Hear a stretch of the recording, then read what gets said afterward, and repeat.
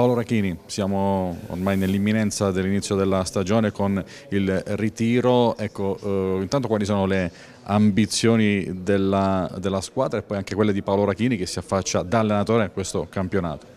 Le ambizioni essere le stesse, di quelle, quelle, di Paolo Rachini e quelle della squadra, cioè di fare un campionato importante. Eh, penso che ci siamo come ho detto prima siamo mossi bene sul mercato, abbiamo fatto acquisti eh, di spessore, quindi è normale che eh, l'obiettivo principale è cercare di, di, migliorare quello che è stato fatto lo scorso anno, che comunque è stato fatto un buon lavoro, eh, una classifica importante, quindi eh, quello che si chiede a Rachini è cercare di fare di, di più dell'anno scorso. Il Presidente, l'abbiamo capito, è ambizioso. Il Presidente è molto ambizioso, io non conoscevo veramente una persona squisita, eh, già dal primo incontro mi ha fatto capire che comunque eh, voleva fare bene, quindi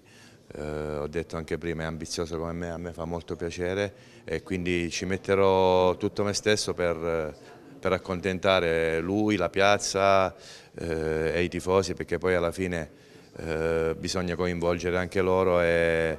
facendo prestazioni importanti, giocando bene al calcio e facendo risultati. Soddisfatto della rosa mm, è al completo in questo momento? Ma la rosa per il momento con gli ultimi due acquisti si è al completo, manca qualcosina a livello di, di under, però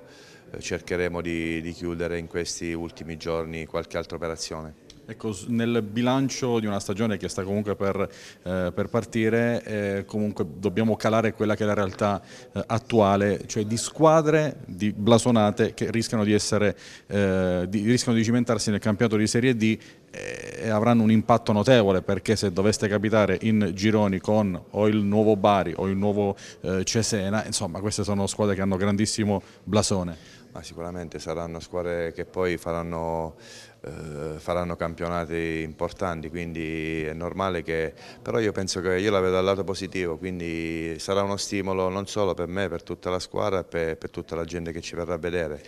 Eh, ripeto, poi in campo si va sempre in 11 contro 11 e, e si, deve, eh, si deve sempre giocare la partita